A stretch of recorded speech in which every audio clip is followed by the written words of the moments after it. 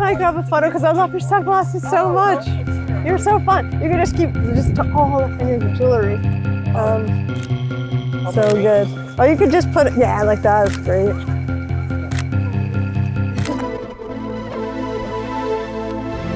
That is so good. Blingy, thank you. Uh, my photos say way more about my mental state at the time. Yeah, that's fun. Is fun. What's the... It's like my visual just diary. Oh, shit. oh my god, it's just like people heaven right now. I prefer when it's candid, honestly. Like, because then you... Even a hand will betray itself when you repose it or something. Like... Oh, shit.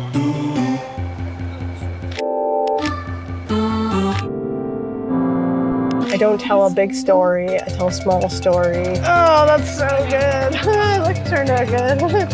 I like to cut through here. There's always good stuff over here. That was so good. Some good stuff happening, I can already see.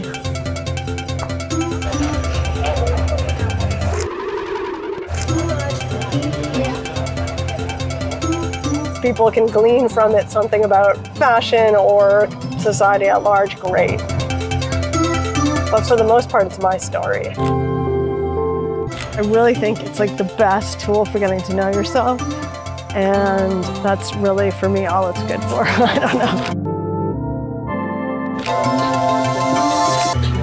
Everything happens so fast. Like, it's all happening in a split second, and then I can go and look at it later and be like, what is it about that face that I like? It's crazy what's happening. Like, what is happening?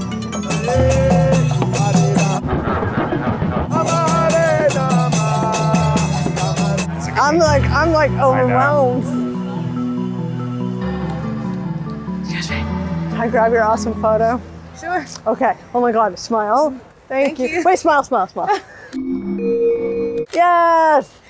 It's more fun. Yes, smile, smile. yes. Thank you. Sorry. Can I see it? See, it's more fun when you smile. It is. Yeah, that's so good. Aw, thank you. Yeah. so cute. Thank you. Have a good one. Story of my life. Oh, look at this dude. So cute. Oh, he's so cute, but then also like looking at a phone, it's just so boring. some people bore the fuck out of me, excuse me, but like some people just don't have the spark. Maybe they have the spark for other people. Thank you. Everybody that I shoot, 100% are people that I'm just like, they have like a glow around them, and I'm like, ooh.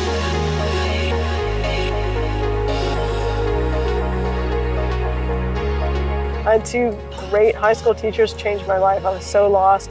I was like a queer kid, and they just like just totally lost. And they were just like, "Oh, you can write and you can take these photos. Oh, and you like film. Here, we're gonna just nurture this in you."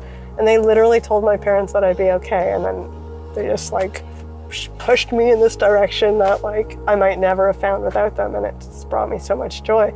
Like if I could be that, even on a very tiny level for some kids somewhere. It's awesome.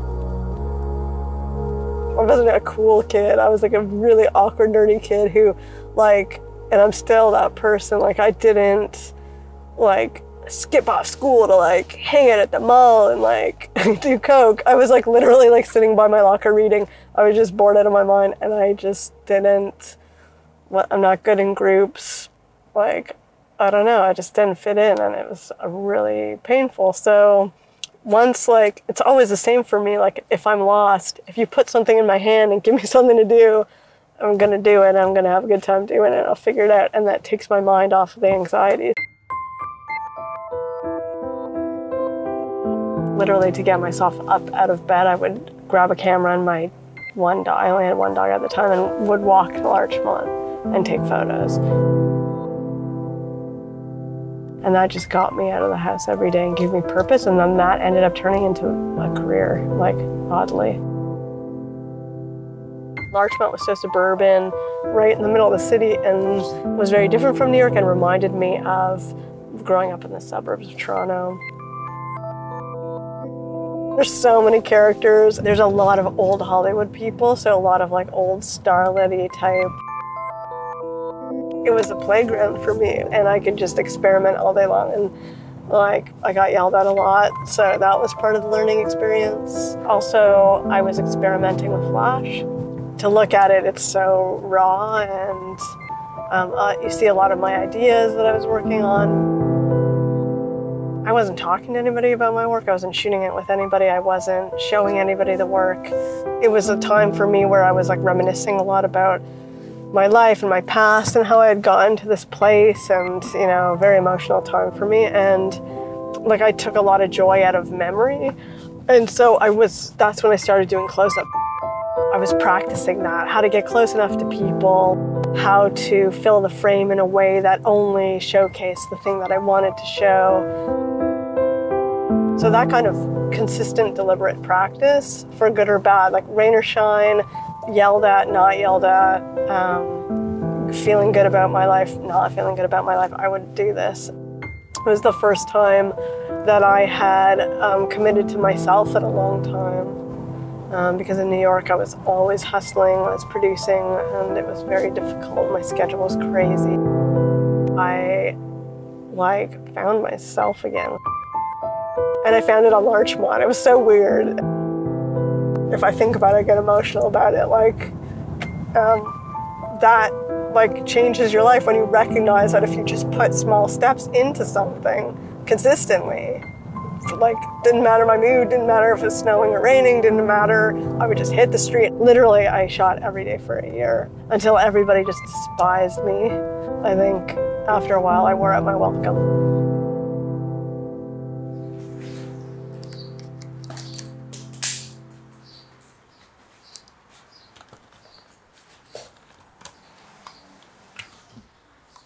It's basically chaos. so I need you, you. Mm, don't need you. Need you. Okay. Okay. Where's my car keys? Got those? No. Shit, what did I do with my car keys? Ta-da. You have it? Yeah. Have your sunglasses? My sunnies are right here. Well, have a good time. I hope there's some awesome weirdos out there. Yeah. that you get to see. Okay, I love you. Bye. Oh, can't even talk. It takes all of my focus and it takes all of my energy. Like sometimes at the end, like I just need to sleep for a minute or something, or I'm very scatterbrained. When I start shooting, I just go into a zone. These people are getting got. Like that's so cute. I can't even. Usually I shoot by myself and I, I just get hyper focused. Something happens to me physically, something happens to me mentally and emotionally that locks me in. It's like um, a meditation. I'm very, very hyper uh, present. You look, look at her, look at her. And it's magical. It's, it's probably some of the only times in my life where I'm that present. Thanks so much. Thank you look you. so, so cute. I can't. you know, I, we all share our like mental space with so many things these days. And so to be able to be that focused and that can I get a photo just like that clear is a gift. I, I just don't Yeah. want to question too much. Thanks, friend. You're awesome. Overthinking things is horrible. I I'm very torn. People are like, you should go do your masters and clarify for yourself. And going to school is like the last thing on my mind. Like, okay, don't smile. I did film school and I taught graduate school in New York for filmmaking. And all of that, like talking about stuff, just kills the the rawness. And I, I understand some people make very beautiful, thoughtful, well constructed things, and we need those people too, and we need that stuff. I'm just not one of those people.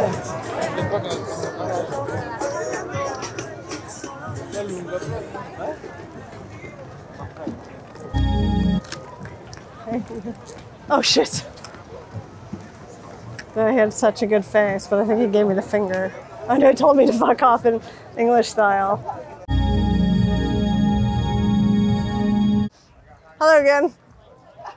Oh no! Oh, so sad.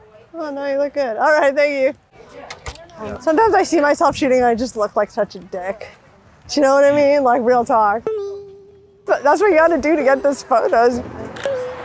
I like to check myself a lot.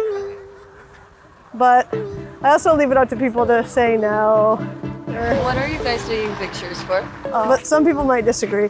Oh, I love this. Uh, I mean, people want to be seen generally, I think, and I'm not. Like, you look at me, nobody's going to be like, she's fucking aggressive, horrible human being. I think the act is aggressive, and I recognize that. But also, then you look at me, and I'm certainly not threatening in any way. Thank you. One year, so you're, you're six months longer than you should.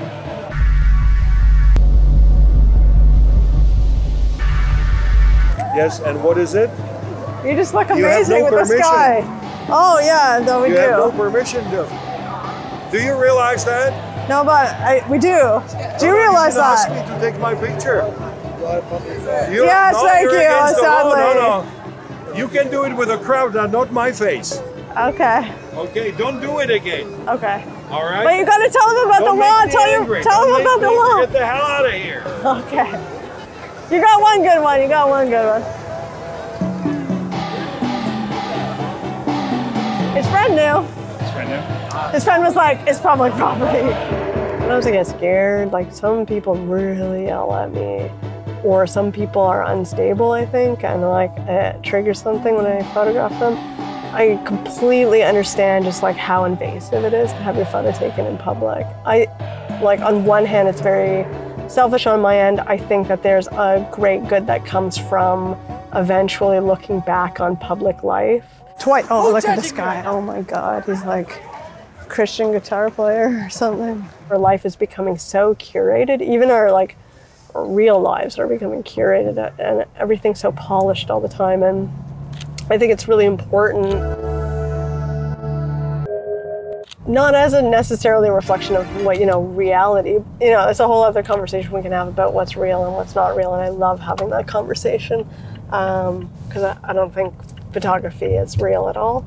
Um, but there's still you know things that we can anchor ourselves to in the frame and understand that oh in 1953 people wore hats and towns were segregated and kids smoking in the street or whatever whatever it is that like it's a document of a time and so for that i think it's invaluable We get you're in a public space doing your thing, right? yeah Yeah. But like to come into our space in like close portrait range and Uh-huh. like throw off what we're doing and then not even talk to Oh, us in a topical way oh or yeah like I'll talk to you about it. offer to send the Want a photos to us like you I'm could be using to. them commercially, you know, and then that's Oh like no, nobody will ever be able to use you commercially because I didn't get I, a under- sign. off I understand, No, but that right. that's like the that's our worry maybe Yeah. and Oh. we don't we don't know Oh that yeah, you're who not I am or anything. that. Yeah. Um, I'm a street photographer. Yeah. I saw a nice moment and I took it. I'm happy to give you the photo if you want. I don't know if it turned out very good, mm. but Either way, it'd be nice if you just like said hello or Oh yeah. we were, Usually, like, in like, I get in and then I see people are in their zone. Sometimes I have a conversation. Sometimes I see people are in the zone and I don't want it ruin. I'm just like in and out. I took a few photos of you, so that's probably. Usually I'm like one photo and I'm bye. That's why I like people to see how I work because I don't Yeah. think they get either they think like it's easier than it is to do or that I'm ruder than I am or that it's like completely posed all the time or they just don't understand the energy of it. I, that's why if some people get mad at me or get crazy or whatever, like don't like it, don't think it's authentic, whatever bullshit, I'm like, you come with me and we'll go out on the street and shoot together and we'll see what happens. I love a cigarette, like.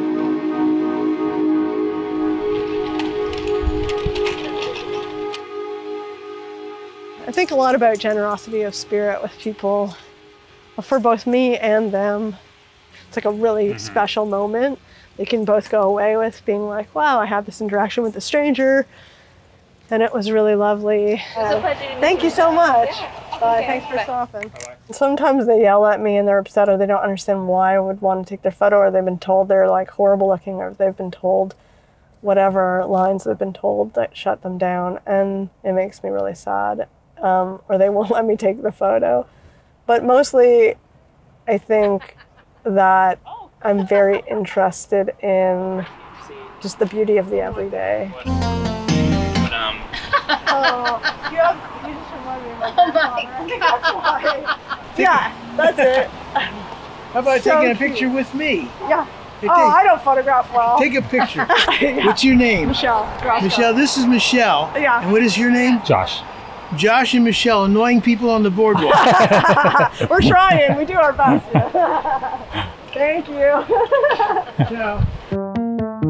you know, I'm an atheist and I, I'm kind of a firm believer that just like what's around us is so incredible and beautiful and complex and amazing and worthy of our introspection and, and all that stuff that we don't necessarily need the fantasy. I like fantasy too, but we it's like we don't need it. So we attribute all these like values to things, but I think it's skewed and wrong and off and like literally just the most average person could be just really phenomenal looking or like the way they carry themselves or I just want to explore that and celebrate it and try and show people that you don't only have to shoot these, you know, fantastically, you know, general beautiful people. You can find beauty all over the place and in strange places and corners and average places. Oh, wait, the fuck. Please. Like, give me some, give me something, something. Like, yes. Yes. You too, you too.